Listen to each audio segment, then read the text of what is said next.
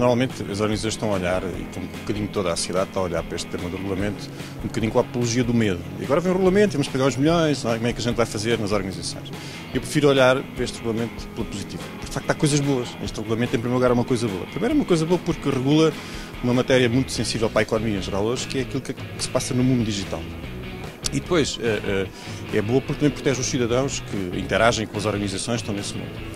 E há aqui um tema muito sensível, eh, que é a credibilidade dos negócios e das organizações que estão no mundo digital.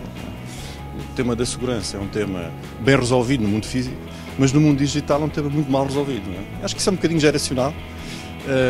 A cibersegurança é um tema antigo, mas quando a gente põe a palavra ciber antes disto, antes da segurança, desvaloriza logo a conversa. É? Portanto, há aqui um tema de credibilidade que é muito importante para, para, para as organizações que estão neste mundo digital.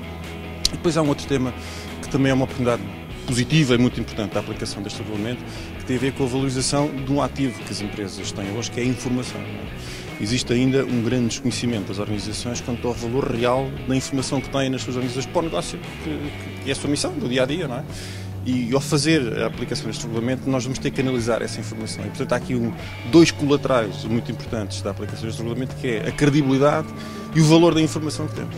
Normalmente os clientes costumam me perguntar assim, ao oh Pedro, isto agora vem aí um, um, caos, não é? Porque isto, você entra numa organização, começa a fazer uma auditoria aos dados, e se é uma organização muito grande, tipo uma operadora de telecomunicações, ou um grande banco, ou um grande organismo público, uh, isto vai demorar três anos só para você perceber que dados é que cá estão, não é? Não é? Portanto, isto parece assim uma coisa megalómana, e aquilo que eu gostava de dizer é que não há razão para entrar em pânico. Há uma abordagem eh, estruturada por fases, em que nós começamos primeiro por perceber qual é a cadeia de valor de cada organização, os processos que suportam essa cadeia de valor e depois a informação que está uh, por baixo de tudo isso. Então, ao longo desta, destas fases, nós vamos uh, filtrando um conjunto de temas e vamos afunilando para uma solução final. Não há uma solução mágica para isto, há um caminho que é preciso fazer. A maior parte das organizações já têm parte deste caminho feito. Não? É? E, portanto, acho que não há razão para para sustos, há razão para, para nos pormos aqui. Eu acho que a forma correta de endereçar esse tema das empresas pequenas e médias é uh, a agregação setorial. Tá?